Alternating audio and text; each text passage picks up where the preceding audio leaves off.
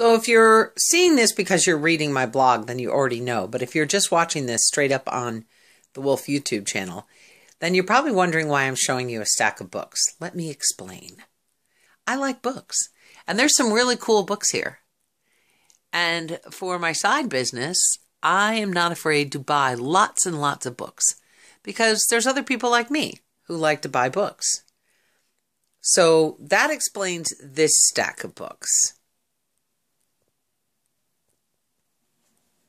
But it's actually this stack of books that's gotten me troubled.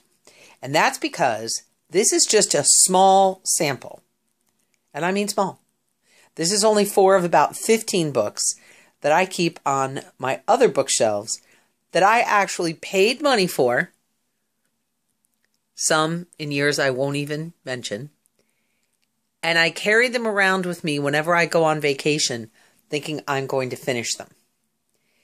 This particular book has been on vacation with me more times than I wish to admit. It's probably got frequent flyer miles on Southwest.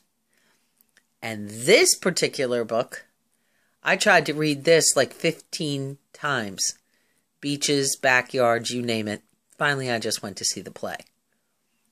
This is actually the newest of them. I'm kind of proud of myself. I've only owned this one for not quite a year yet. I got this one at the Grand Canyon last May. My goal is to finish these books. The problem with taking so long to read a book like this, especially this particular book, is you got to start over. You forget a lot when you've owned a book for 27 years. Oh, that's so bad.